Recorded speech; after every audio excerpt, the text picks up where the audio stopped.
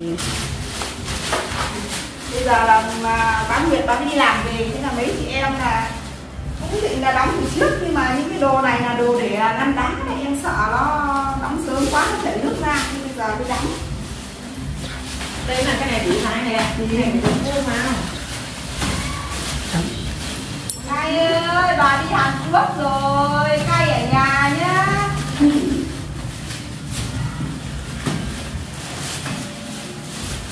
Đây là cái ờ, thùng này em cân đủ 20 cân rồi bác ạ. cái hai mươi cân là đủ rồi cái nó mua hai mươi cân mà thì mình Đây, cái chỗ này là mua hàng là 20 cân rồi. Lúc này lúc này em cân là mười mấy cân rồi. còn đâu có cái gì đâu Đồ đồ sách ở ngoài. có cái sách ngoài cái tay à Nhưng mà không, bây giờ chị phải cân cái này đấy cái này là cái này hai mươi cân đấy em cân là 20 cân đấy. Nên nhìn, có cân thôi. Hay là mua thêm cái gì vào nhỉ? Mua gì đây có cà phê chưa? Cà phê cả nhà là mấy chị em tập trung đóng hàng cho hai ông anh rể đi đây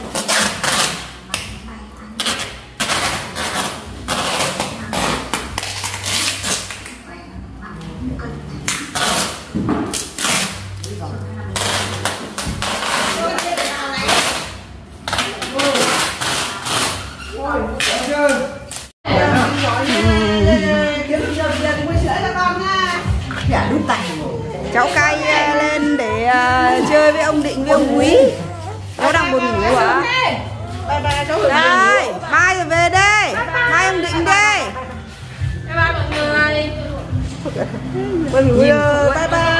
Bye bye. Bye bye Bye bye. Bye bye. Bye bye. Bye bye.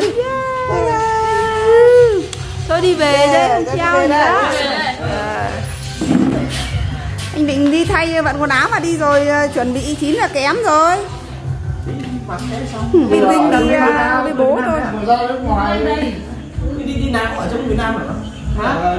Đi Nam cả. Người Việt Nam người miền Nam người ta nhiều, người trong miền Nam đấy ông Nguyệt đi làm về cái vào đây luôn. Đây là hàng của hai anh rể nhà em. Mỗi một người là một thùng 20 cân. Đây là sách tay 7 cân cả nhà ơi. Mỗi một người 7 cân, em phải lấy cái dây vàng kia em đánh dấu đấy. Hai anh chào bà ngoại để ờ, đi làm đây. Chú chú chú chú sao đấy, có cái gì hay hay? Tôi cầm về cho nó đó.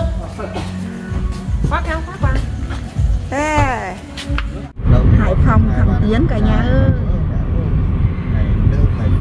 Hôm nay em thì thuê chuyến xe 4 chỗ ngồi thôi, Thì hàng để đằng sau, Còn hai mẹ con em với là hai ông anh này là đi thôi. Chứ mọi người bảo sao không thuê nhiều để đi đấy, Bảo thì không bảo trước, Thế là em thuê xe nhỏ quá. Cả nhà em đã đến chưa? Sân bay Cát Bi rồi mọi người ơi. Anh trai đang bê hàng cho bố.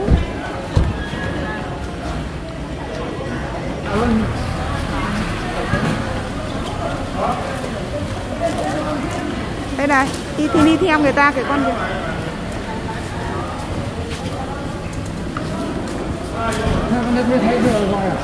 Ơi. Cái gì? Nhà em hôm nay ra đây là đi sớm, 9 giờ đi ra đây 9 rưỡi mà đã xếp hàng đông. Mình đi thế nào? À, Mình đi thế nào? Từng đây người là đi một chuyến, là cùng một chuyến sang Hàn hết. Cho nên là tí là đi những người kia mình không biết mình hỏi ấy. Lần đầu tiên mình không đi, mình mới biết đi mà nên là cũng bỡ ngỡ.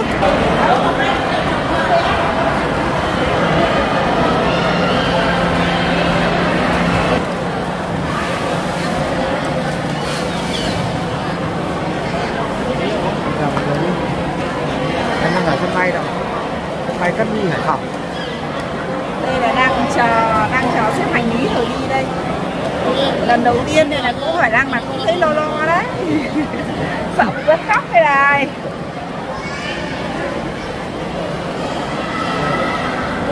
đi sớm thế mà rất là đông nhá. Đằng sau em rất là đông người.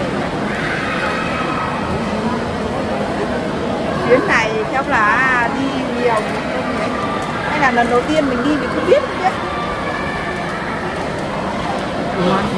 không lần trước em đi đó nó sao? Không vào đây? Đúng là ngày cổng bây giờ rồi nó khóa hết đi đó là không ừ không được vào đợt này nó cho vào đây chứ đợt trước được vào đâu. Lần này hai anh này đi cũng cầm nhiều hàng đấy xong mà mình chưa đi xa bao giờ nên là em cũng rất là lo.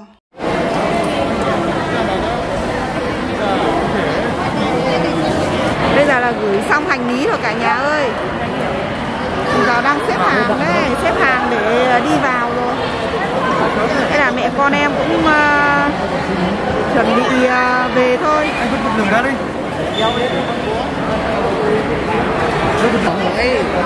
với mẹ dặn bố thôi. Đã thủ tục à, đã làm sắc bọn em không được vào bên trong đâu mẹ con em mày chỉ à, ở, ở ngoài này thôi. Em bảo anh là không biết đấy thì mình phải hỏi những người người ta đi bên cạnh mình này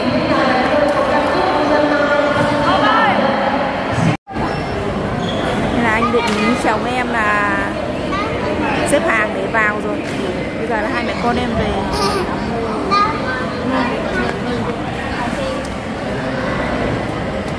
kéo khẩu trang xuống nha mùi bắn bây giờ là anh định anh ấy đi rồi. Hai mẹ con em về. Kinh đấy. Lại không uh, quay cùng với mẹ cả nhà ơi thế là hôm qua hôm qua em mới ờ, chờ anh định lý để quý khi là vào làm thủ tục đầu đuôi đâu đấy xong rồi mà hai mẹ con em mới về. Ý là cho mọi người vào lúc về đỡ nóng ruột không mà mình lại lúc về mà sim thì em lại tháo ra rồi mà mạng thì không có. Lúc ở đấy có vấn đề gì thì lại này không không ờ, không biết đường gọi cho vợ đấy, không gọi được. Thế là em về đến nhà là là hơn 11 giờ. Hay anh định lúc ở đấy, ở đây là mấy giờ nhỉ? Ở Việt Nam mình lúc đấy là 4 giờ, hơn 4 giờ. Xuống sân bay làm thủ tục xong mấy hàng lý xong, đầu đuôi ra, xong mà cũng biết. Anh định công nghệ anh kém lắm em cũng là người kém rồi, nhưng anh còn kém hơn cơ. Phải dạy đấy bảo là khi à, xuống sân bay thì nó có mạng ấy, thì anh mở mạng ra thì nó sẽ có. Thế là mở mạng ra gọi gì, ngoan. Thế gì ngoan thì là ngày thứ bảy. Xong là người ta về quê nhiều, nó bị tắc đường ấy thì đi chậm. Thế gọi điện cho vợ, lúc đây là hơn 4 giờ, bảo anh với quý đã lấy hành lý xong rồi, bây giờ để chờ gì ngoan thôi mà gì ngoan bảo là còn à, những hơn tiếng nữa mới à, đến cơ. Và thế thì anh cứ chờ đi. Em bảo rét bảo may là em lúc đấy đấy em bảo cầm cái áo khoác đi để cứ bảo chưa rời rời lắm. Em bảo cứ cầm đi nặng nhọc gì. Thế chẳng may nó rét thì lại lúc đấy lại bỏ ra bỏ vào. Thế là cầm cái hai hai anh hai ông đấy thì cầm cái à, mỗi người một cái áo khoác đi thế là cũng đỡ lo. Vừa xong đến lúc vừa đây này đến uh, 12 giờ 11 rưỡi về đến nhà dì ngoan. Dì ngoan đón về thẳng nhà dì ngoan xong là à, ăn cơm. Anh su em em rể su nấu cơm đãi hai anh rể. Thế xong là là với với ăn xong đầu đuôi đâu đấy dì ngoan dì mới chở đến chỗ chỗ cái nhà ông chủ. Bởi vì từ nhà dì ngoan đến nhà ông chủ chỉ có khoảng 15 20 phút thôi. Làm đồng thì xa có đâu đến chỗ ở đấy thì cũng gần. Vừa em thấy quay cho em là su nấu canh sườn cho ăn với lại thịt rán thịt nữa thế anh bảo ngoan là phải nấu nhiều cơm vào. À, quý bị định ấy từ qua đây không ăn ăn ít là tối qua ăn sớm. Thế là lên sân bay chắc không mua gì ăn đâu lên là đói đấy phải nấu nhiều cơm em phải dặn thế đấy. Thế anh bảo ngủ một tí mà có ngủ được đâu? Nóng ruột lắm mấy hôm nha anh đi là em cứ mua đồ xong lại làm cơm bên nhà mình, lại cơm bên cơm bà ngoại nữa đấy. Nhà cửa sân sướng, nhà tắm, nhà vệ sinh các thứ không được sạch sẽ đấy mình cũng không ngon. Sáng nay dậy em lau dọn, bơm nước, rửa hết từ nhà cho đến nhà tất tật tật đá sân. Xong mồ hôi toát rã rượi ra. Mệt thế vừa anh định gọi điện vào em ở nhà cũng mệt đây, em dọn dẹp suốt thế là bây giờ biết sao mà trưa nay em còn chưa được ăn cơm này em ăn củ khoai một bát cháo. Thế anh định là cứ nghỉ đi hôm khác dọn. Bảo bây giờ anh đi rồi. Khác việc là một mình em. Trước với anh à, anh ở nhà anh còn phụ hàng hóa không? Nhưng bây giờ một mình mình mình phải làm mình phải biết sắp xếp công việc để làm chứ.